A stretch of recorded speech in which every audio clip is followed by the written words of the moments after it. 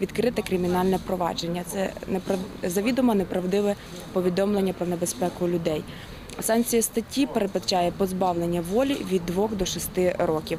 Наразі працівниками Рівненського міського відділу проводяться усі необхідні слідчі, оперативні заходи, аби встановити особу зловмисника, який здійснював телефонний дзвінок.